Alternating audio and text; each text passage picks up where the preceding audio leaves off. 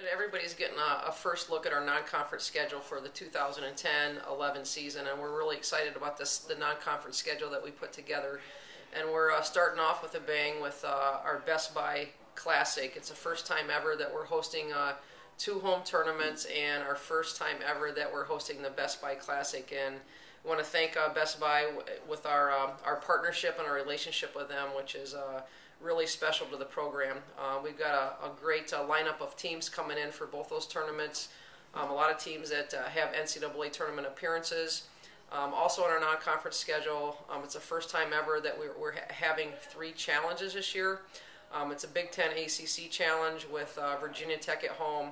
Um, the second week of our season, we have the, the first time ever um, BCS challenge, and we were one of the few schools that were selected uh, for that. And we do play Pittsburgh at home, and then uh, the Big Ten, Big 12 challenge. It's the first year for that. We're on the road at Baylor, and obviously these three challenges we're really excited about um, them with um, the challenging non-conference schedule that we have, and um, it'll get us ready for the Big Ten season. So. Um, we've got a lot of home games uh, for our fans, and I think you're going to uh, see exciting brand Brandon basketball this year and a very competitive uh, non-conference schedule. So love to see you there. Buy season tickets and go Gophers.